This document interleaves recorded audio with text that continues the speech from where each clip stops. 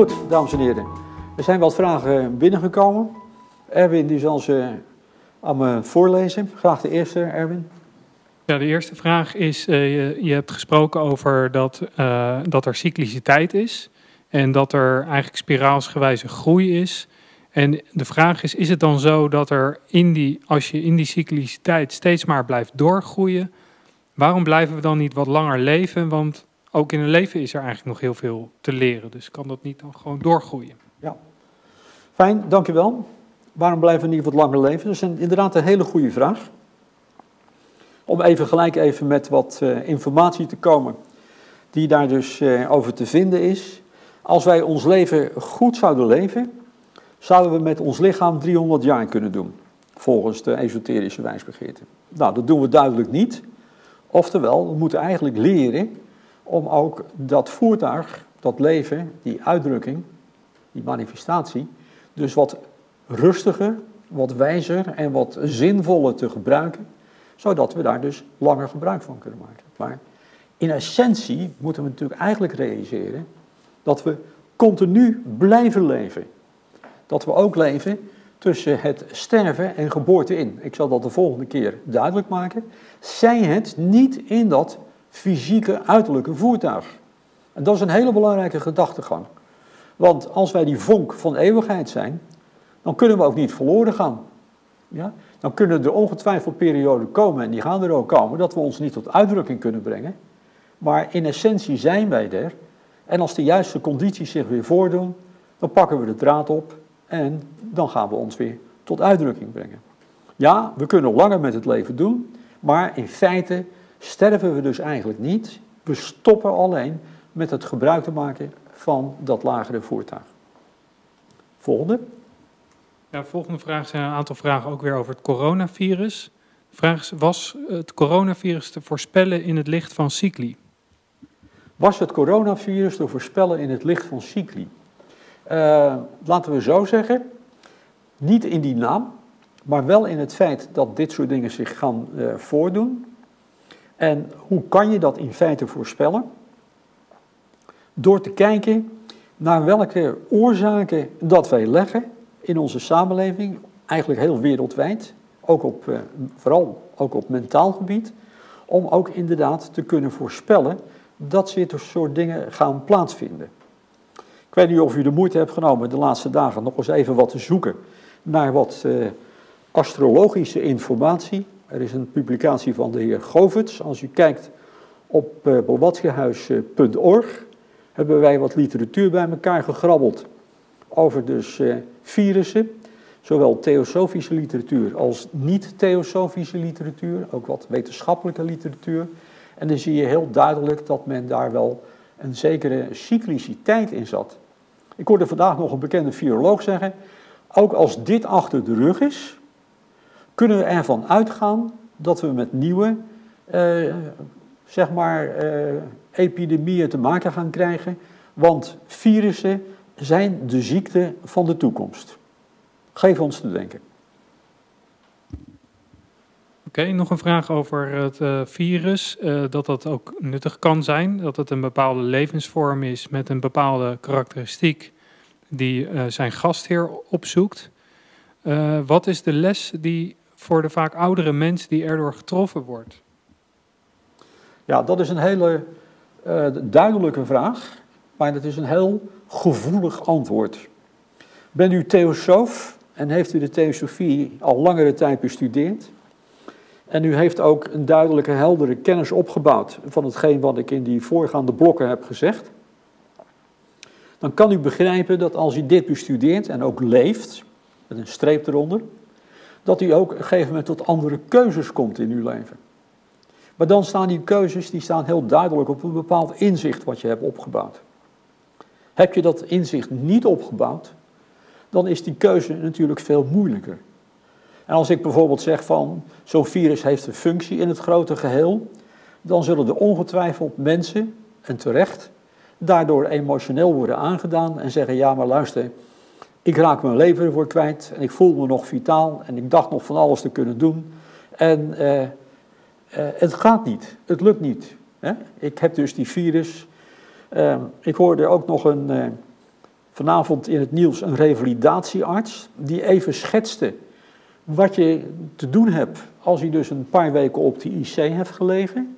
Dan kan je je dus afvragen, dat, is dat een beperking die ik wel wil aangaan? Nogmaals, heb je een andere levensvisie? Ben je tot de conclusie gekomen dat dus dat uiterlijke bestaan maar een tijdelijke aangelegenheid is, maar dat we er als mens, met hoofdletters geschreven, altijd zullen zijn, kan je dus een veel makkelijkere keus maken. Ja? Dus als we gaan kijken in de wet van oorzaak en gevolg, dan kunnen we eigenlijk niets anders zeggen. Het is een herstellen van een verstoringsproces. En we kunnen ons daarbij heel nadrukkelijk de vraag stellen: welke elementen hebben dan een verstoring opgeleverd die hersteld moesten worden? Vorige week woensdag, voorafgaande aan de lezing die uh, gestreamd is, heb ik ongeveer een half uur besteed om dit verder uit te werken. En ik zou u eigenlijk willen uitnodigen, kijk u daar even en uh, kijk u anders even op bollewatskehuis.org. Bij de Nederlandse tekst hebben we een paar grote koppen op de homepagina staan die u verwijzen naar literatuur om daar nog eens wat verder over na te denken. Ja, nog één laatste vraag over het virus. Je hebt gesproken over samenwerking, over eenheid. Um, en uh, nou ja, die virussen lijken een soort van indringers te zijn die we door medicatie eigenlijk vernietigen. Hoe kijken we daarnaar vanuit dat beeld van eenheid? Ja, misschien een kleine correctie in de vraag. Virussen die zijn niet door medicatie te vernietigen. Dat is een van de uh, voor westerse opvatting jammerlijke dingen. Enige wat je kan doen is eigenlijk vaccinatie, als je tenminste een vaccin hebt ontwikkeld, maar dat hebben we nog niet. Dus een virus is eigenlijk iets wat je in principe zou moeten ja, uitwerken. Maar dan kom je wel op een hele interessante vraag. Er zijn dus niet iedereen wordt ziek van die virus. De een maar helemaal niet, de ander een heel klein beetje, die heeft het genezen in de gaten. En sommige mensen worden daar heel erg ziek van. En dat laat duidelijk zien dat onze constitutie, de samengesteldheid en de weerstand die we hebben tegen bepaalde invloeden, daarin een hele belangrijke rol spelen. Maar nogmaals, ik zou zeggen, kijkt u even op onze website naar de artikelen en de teksten die we voor u gevonden hebben. Dan zijn er nog uh, twee vragen over wat eigenschappen van bewustzijn eigenlijk zijn waar je over gesproken hebt. Van wat zijn die, wat, wat zijn die eigenschappen eigenlijk? Zijn dat ook wezens of zijn dat levenloze dingen? Um, en in combinatie daarbij ook nog een vraag over, uh, je hebt verteld van je, je kunt uh, bijvoorbeeld uh, alle koperen dingen onderzoeken, maar je kan ook de karakteristiek van koper onderzoeken. En dan specifiek over een kopereigenschap, dat dat goede geleiding is en dat dat ook voor bepaalde mensen van belang kan zijn. Dus die twee vragen over eigenschappen. Ja, ja. Nou, laten we even straks in mijn laatste blok kom ik daar uitgebreid op terug om te vertellen wat die karakteristieken zijn. En ik heb dat wat sheets gemaakt met wat plaatjes om dat uh, duidelijk te maken. En dan zal ik eigenlijk vertellen dat er dus ook in het geheel zeven karakteristieken te onderkennen zijn. Die ga ik straks uitleggen hoe dat in elkaar zit en waarom wezens die karakteristieken hebben en wat ze tot uitdrukking brengen. Dus als ik dat even mag parkeren tot mijn laatste blok, blok 3. Dan even die vraag over dat koper. Dat voorbeeld van koper was natuurlijk een voorbeeld om te laten zien dat je een karakteristiek van iets kan bestuderen. Ik had ook kunnen zeggen, als je het karakteristiek van het verplaatsen van jezelf of van andere wezens dus wil bestuderen, dan kan je vele vormen zien van het verplaatsen. Maar wat is het kenmerken daarvan? Het feit is dat je op een of andere het vermogen bezit om van A naar B te komen. Dat is de karakteristiek van verplaatsing. En dat kan je doen uh, heel primitief, kruipend, lopend, fietsend, autorijdend, vliegend enzovoort. Maar de essentie van al die uiterlijke vormen is eigenlijk hetzelfde. Dus ik heb eigenlijk willen zeggen, kijk naar dat ene leven en probeer die karakteristieken, die essenties als het ware eruit te halen, zodat je daarmee kan werken. Als je kijkt naar die zeven juwelen van wijsheid, dan heb je daar al een hele goede handvat voor jezelf om daarvan uit te gaan en eens te kijken, kan ik ze ook zodanig herkennen en als het ware ook zelf dus bestuderen. Oké, we gaan nu naar ons... Uh... Oh, nog één, sorry. Ja. Um, simpele vraag, als je sterft, hoe ben je dan nog een vonk van het leven met hoofdletter L? Ja, nou dat is eigenlijk mijn lezing volgende week. Het stervensproces, het afscheid nemen, waarin ik ga vertellen, en ik vind het een beetje lastig om mijn hele groetje los te laten, maar we laten bepaalde relaties los. En om een eenvoudig voorbeeld te nemen, als u jarenlang getrouwd bent geweest en u komt tot de conclusie dat het niet langer gaat en je besluit om daar dus eh, afscheid van te nemen, dan is dat een stukje afscheid nemen van een karakteristiek waar je dus eh, een ander wezen, waar je een bepaalde relatie mee hebt gehad. Je gaat door met je leven, je bestaat nog steeds, maar die ervaring heb je wel gehad en dan kan je dus in feite de vruchten uitplukken. Ja? Dus zo ook met dus die uh, godsvonk die we zijn, die zich periodiek manifesteert, maar er altijd zal zijn, zij het, afhankelijk van zijn kwaliteit van ontwikkeling, moet ik eigenlijk zeggen, kwaliteit van uitdrukkingsvermogen, dat hij dus soms zich kan uitdrukken en sommige momenten zich niet kan uitdrukken. Zo gaat dat, maar zo gaat het in het dagelijks leven ook. Als u eh, nog nooit een eh, college wiskunde hebt gevolgd, en wiskunde was nou, nou, niet bepaald iets waar je veel interesse in had, dan eh, is een college wiskunde ook zoiets van, nou, ik ben er wel, ik zit er wel, maar ik kan er helemaal niks mee. Dat is eigenlijk dan ook zo'n voorbeeld dat je er nog wel bent, maar je in die omgeving je niet tot uitdrukking kan brengen. Ik zou vragen, heb even geduld. Volgende week spandeer ik er een hele avond aan. Dankjewel. Goed, nu gaan we kijken naar wat is een mens. Mens komt eigenlijk van het woord manas, Sanskriet wat denker betekent. En denkvermogen is het kenmerk van een mens. En we gaan eens even kijken hoe dat in feite in elkaar zit. Ja? Het is een dynamisch iets. Het is niet statisch. Ja? Het is dus in feite een bepaalde iets wat je tot uitdrukking kan leren brengen. En elk wezen doet dat zo op zijn unieke manier. Ik zal er straks wel een paar voorbeelden van geven. We gaan kijken. Wat heb ik hier gedaan? Pianoklavier. Zeven octaven. Elk octaaf heeft de tonen C, D, ik heb het even uitvergroot, E, F, G, A en B. Dat is de tonen in de muziek. Die karakteristiek die wij kennen in de natuur als tonen is het atmische, het eenheidsbelevende, het boeddhische, wijsheid, het manas, het denken, typisch onze karakteristiek, het kamische, begeerte, prana, vitaliteit, linga sarira, astrale lichaam en stula sarira, het fysieke lichaam. Het zijn eigenlijk zeven karakteristieken die overal in de, de natuur, in het leven, in het ene leven voortkomen, op verschillende niveaus. Ik ga daar dus een, eh, een voorbeeld van geven. Die octaven van die piano, die hebben dus zeven octaven, die hebben dus zeven, elk octaaf heeft die zeven karakteristieken.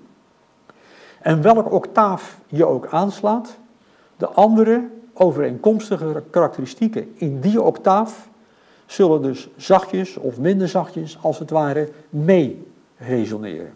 Dat is een belangrijke gedachte. Nou kan je je afvragen, wat heeft hij er nou bijgetekend aan die viool en die cello? Dat is eigenlijk om duidelijk te maken dat die karakteristieken in principe eigenlijk nooit als iets zelfstandigs voortkomen.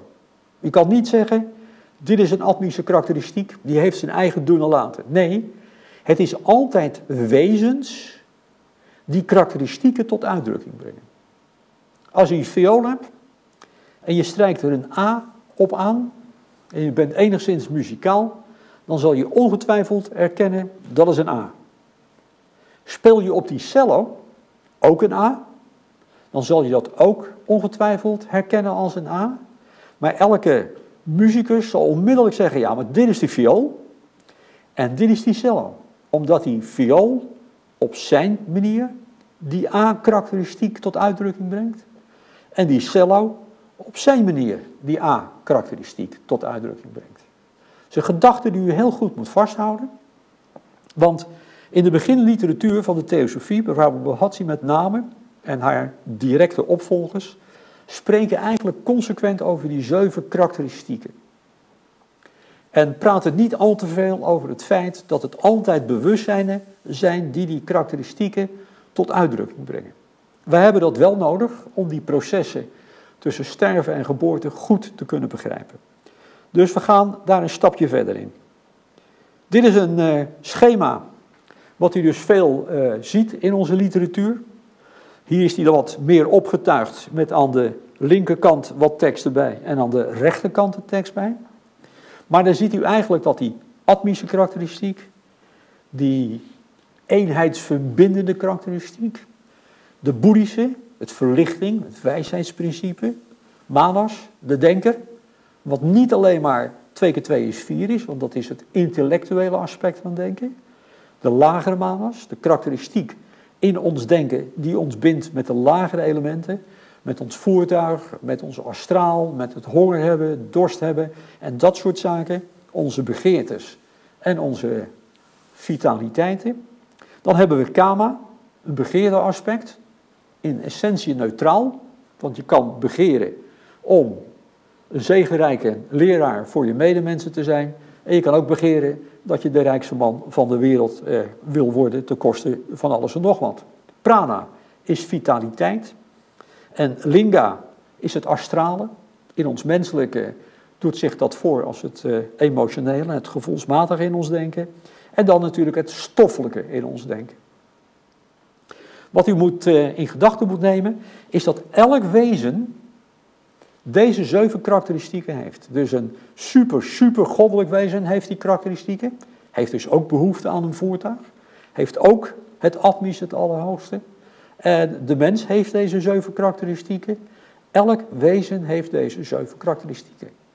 Alleen, het doet zich overeenkomstig, de kwaliteit van ontwikkeling, doet het zich als het ware kennen. Om een voorbeeld te geven.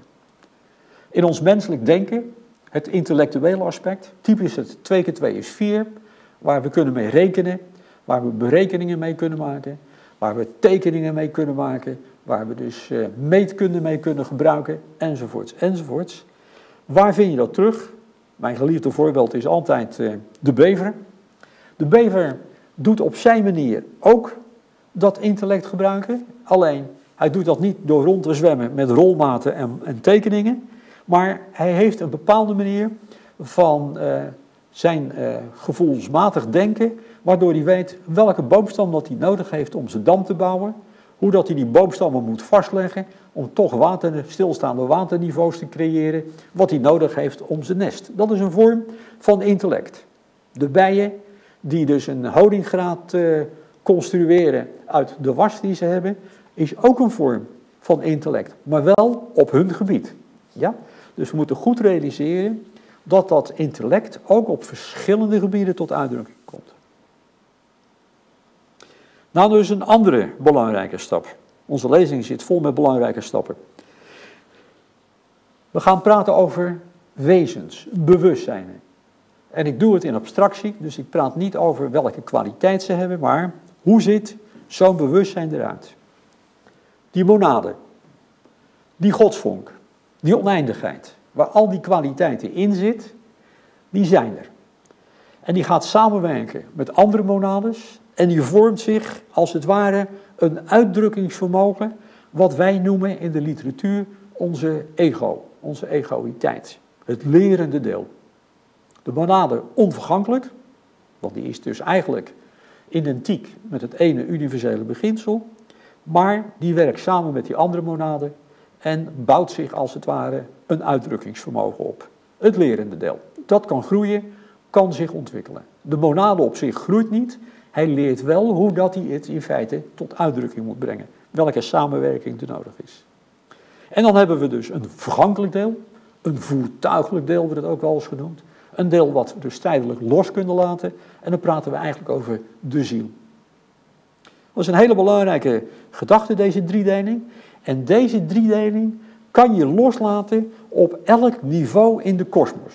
Op elk niveau in de kosmos zijn er topbrandpunten te vinden. Denk u even terug aan die tetractus. Die tetractus, de top, die dus gebruik maakt van onderliggende samenwerking met andere monades, wezens, om dat tot uitdrukking te brengen. En dat punt kan u eigenlijk projecteren op het menselijk niveau, op het dierlijk niveau, maar ook op het super, super goddelijk niveau. Hoger en hoger. Eigenlijk dat we vaak daar ook gewoon een lijn tekenen, omdat het in feite doorgaat tot in het oneindige. Dat heb ik hier zo getekend in onze bekende ijsschema, waarin we eigenlijk een aantal van die brandpunten zien die met elkaar samenwerken. Zes brandpunten die met elkaar samenwerken van het meest eenvoudige, het lichamelijke, naar het dierlijke egoïteit, naar de persoonlijke egoïteit, naar de menselijke egoïteit, naar de goddelijke, naar de geestelijke en naar de goddelijke. En daar stopt het niet mee, want kijkt u maar, er staat een lijn boven die hoger gaat en er is dus een omhullend beginsel, wat wij dus eigenlijk het Auris-ei noemen. Dus dat is even iets wat u in gedachten moet houden. Maar om dat met die beginselen wat makkelijker bij elkaar te koppelen, heb ik dus het uh, volgende gedaan. Kijkt u maar hier. Hier ziet u dus weer vier van die brandpunten. Ik heb daar dus wat uh, Sanskriet-namen bij gezet.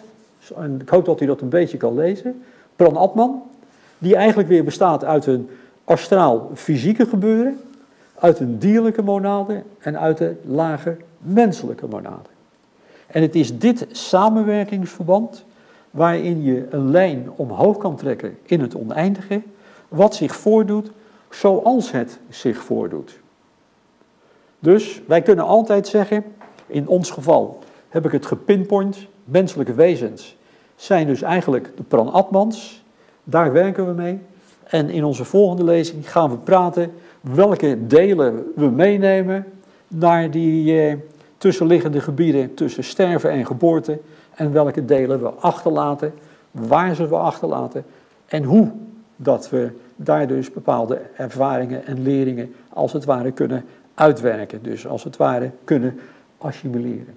Deze samengesteldheid, de zeven karakteristieken, ja, en de principiële opbouw van monade, ego en ziel, zijn twee belangrijke basisgedachten die u dus vooral moet zien vast te houden.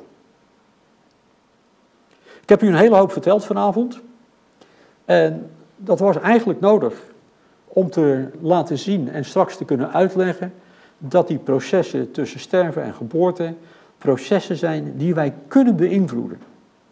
En als u deze samengesteldheid vasthoudt en die onvergankelijkheid van het leven op het netvlies houdt, dan kan u begrijpen dat we daar reizen in maken niet in afstand, maar reizen maken naar de verschillende bewustzijnsgebieden, waar we ook gedurende ons leven kunnen verblijven als we ons daarop richten en trainen. Dat we die reizen tussen sterven en geboorte maken. En dat we dus eigenlijk zelf kunnen bepalen naar welke gebieden we gaan, hoe lang dat we waar blijven, welke lessen dat we er kunnen leren en wat we zouden moeten doen om daar langer te verblijven, korter te verblijven en wat de ervaringen zijn die we daarvan kunnen meenemen als we ons weer aan een volgende incarnatie gaan uh, beginnen. Ik denk dat, u, uh, dat ik u een hoop gedachten heb uh, voorgehouden. U kan ze allemaal rustig nog nakijken een keer op YouTube.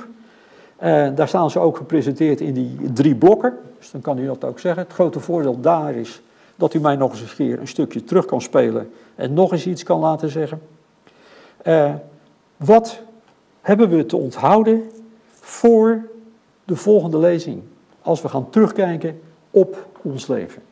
Stervensproces, wat vindt er plaats? Die onvergankelijkheid, essentieel. Dat we eigenlijk alleen maar vergankelijk zijn, omdat we ons zo ergens mee verbinden, wat we in essentie niet zijn. De kern van ons menselijk zijn is het niet hebben van een, eh, een lichaam.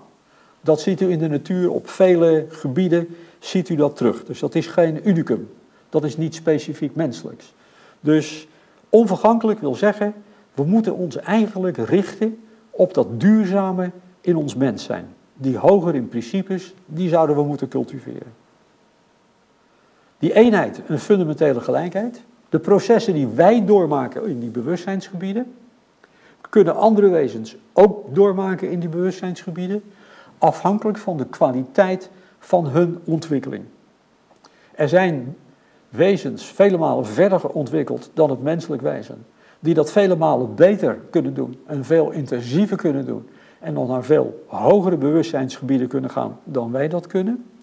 Maar er zijn ook wezens die minder ver zijn en die dus eigenlijk die gebieden amper kunnen aanstippen, omdat het dus nog niet in hun bereik zit van het gedeelte wat ze ontwikkeld hebben. Cycliciteit van oppakken en loslaten, komen en gaan. Basisgedachten, niet alleen in ons dagelijks leven, maar ook in die processen die we de volgende keer gaan beschrijven. Maar ook in ons dagelijks leven. Als u kijkt in uw leven, kan u terugkijken in allerlei gebeurtenissen die eh, zich hebben voortgedaan, waar u zich mee hebt verbonden, die u heeft eh, losgelaten, waardoor u verder bent gegaan, eh, andere banen hebt aangegaan, vorige banen hebt losgelaten. Op het moment dat u losliet, had hij ongetwijfeld het idee dat het heel pijnlijk en heel vervelend was om het los te laten. Mogelijk heeft u geleerd dat dat loslaten juist een enorme verruiming eh, opleverde. Alles is bewustzijn. Alles leeft. Geen dode materie. Dat is ook een uh, belangrijke gedachte. Dus ook de virussen waar we heden dagen mee te maken hebben, zijn levende bewustzijnen. Hebben dus eigenlijk ook de kenmerk dat ze leven en dat ze geen dode materie zijn. Ondanks dat de wetenschap ze heel primitief omschrijft als een stukje structuren die alleen maar kunnen leven als ze gebruik maken van een cel om daar dus eh, in te kunnen gaan bestaan. En die samengesteldheid, onze samengesteldheid, een cyclische samenwerking van verschillende manifestaties. We zijn eigenlijk toe aan het uh, einde van ons laatste blok. Ik sluit even af met het uh, zeggen van een uh, Gayatri. Dan laat ik u zien wat er de volgende keer gaat komen. En dan wachten we even een 5 à 10 minuten om te kijken of er nog vragen binnenkomen. Zo ja, dan gaan we die proberen te beantwoorden. Dus we sluiten eerst even af wat ik verteld heb met die Gayatri, gouden zon, het hoogst en meest spirituele in ons, waar alle wijsheid in opgeslagen ligt, behoeven we ons eigenlijk alleen maar daarmee te verbinden om het tot uitdrukking te kunnen brengen. Hij luidt als volgt. O gouden zon, met uw verheven luister, verlicht ons gemoed en vervul onze geest, omdat wij onze eenheid beseffend met het goddelijk hart van het heelal, mogen zien en betreden het pad dat ons voert naar de poort. Naar de verre poort der volmaking, geleid door uw stralend licht. We nemen nu even een korte pauze. We zetten even de affiche op en uh, we, verwachten, we wachten even op uw uh, vragen. Tot zo mogelijk.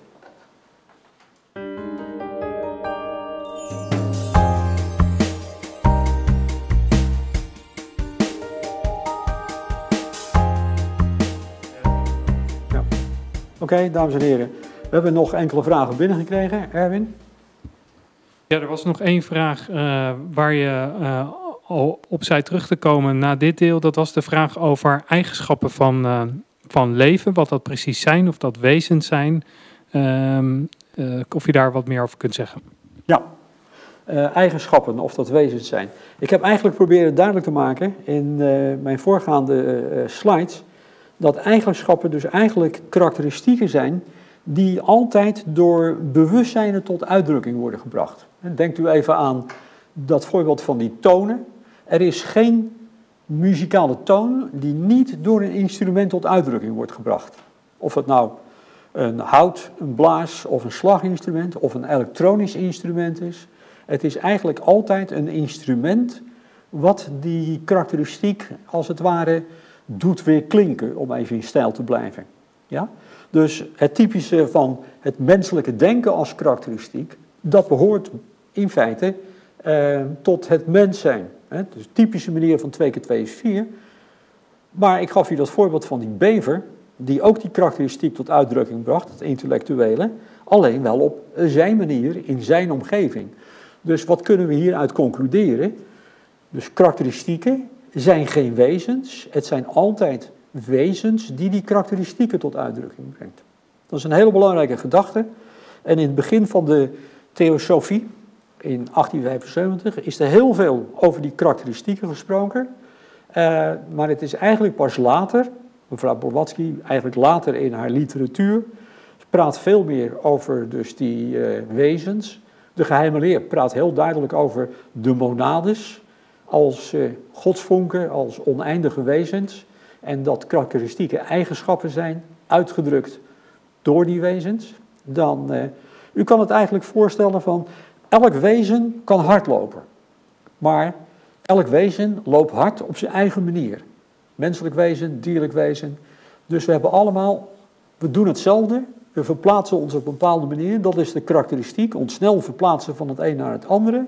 Maar het is wel heel uniek, maar toch in essentie hetzelfde. Dus die, datzelfde in essentie is dus niet een wezen, het wordt uitgebracht, uitgedrukt door een wezen, ja, door een bewustzijn. Ja? Waren dit de vragen? Nog twee. Nog twee, ga je gang.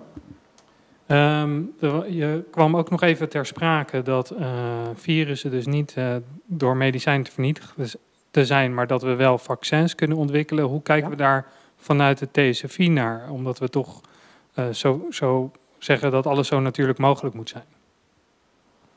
Ja, dat is een, een wat lastige vraag. We kunnen daar op theosofische basis heel duidelijk een antwoord op geven.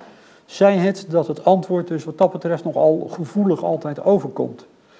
Um, wat u ziet in onze huidige wereld van geneeskunde, met alle respect voor de mensen die het uitoefenen en het comfort wat ze andere mensen daardoor weer geven, moeten we toch vaak concluderen dat vele medische ingrijpen niet het de oorzaak weghalen, alleen het gevolg, als het ware, weghalen of eh, daar iets aan doen. Vaccinatie is eigenlijk zo'nzelfde iets. Je gaat dus op een kunstmatige manier, ga je dus eigenlijk proberen iemand zijn immuunsysteem op te peppen, zodat hij daar dus weerstand gaat opbouwen tegenover een bepaalde ziekte. Wel door hem een verzwakte vorm van die ziekte in te spuiten. Je kan je afvragen of dat dus inderdaad een genezing is, een versterking van het immuunsysteem, of dat het dus in feite alleen maar een bepaalde manier is om het specifieke virus weg te houden. Het is al bekend natuurlijk met virussen dat dus vaccins ook maar voor een bepaalde tijd goed werkzaam zijn. En zeker voor griepvirussen en coronavirussen, dat het dus eh, muteren te snel en daardoor eigenlijk elk jaar weer ontwikkeld moeten worden. Dus daar stel je altijd eigenlijk voor de individuele vraag, ga je dus eh, het proces aan om daar zelf dus eigenlijk in het licht van oorzaak en gevolg mee om te gaan.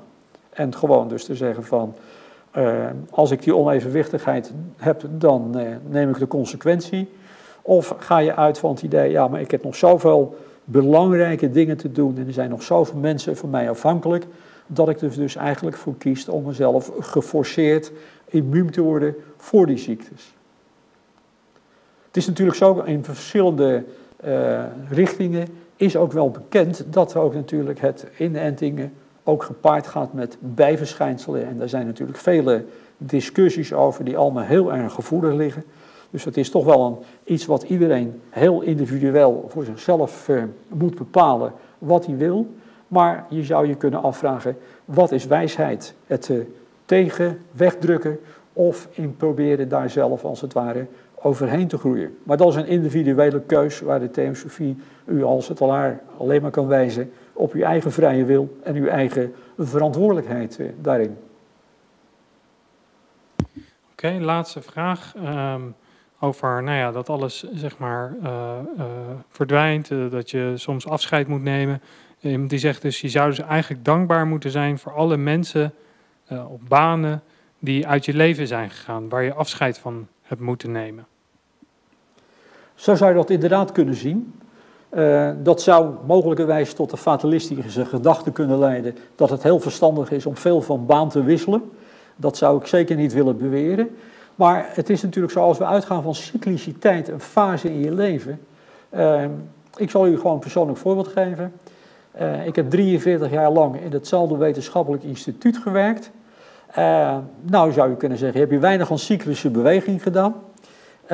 Ja, maar ik ben dus in die organisatie wel op een aantal verschillende plaatsen geweest. Dus in dat grote geheel heb ik me wel cyclisch bewogen en heb ik ook heel duidelijk, als je kijkt over die periode dat ik daar geweest ben, dus ook verschillende functionaliteiten tot uitdrukking gebracht en ook verschillende vormen van samenwerking gehad met andere collega's op internationaal gebied, maar ook op gebied van eh, contacten in Europa met de ruimtevaartindustrie die er eh, was.